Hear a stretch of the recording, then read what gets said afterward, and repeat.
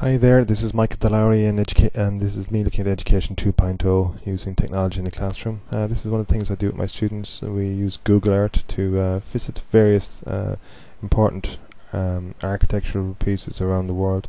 So this is the school, starting off Coláiste de Chiaráin, that's the art room just there in the background.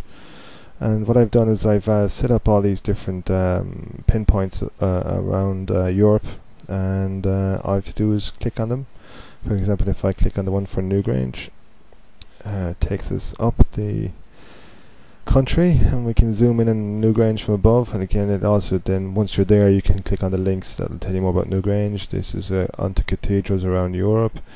The fantastic thing is you can set it up for 3D buildings so you can literally look at the plan and elevation and stuff like that of a, of a building show this to the students especially in leaving certs uh, jump to, let's say, Autun Cathedral here, you can just go right up the steps and look at the uh, fantastic, you know, sculpture above the doors. Uh, and again, this is really crucial for students to get an actual understanding of the shape of the church. Um, like I said, you can once you've set up, you can jump all over Europe like this. Another church. Have a try. Have a look at it.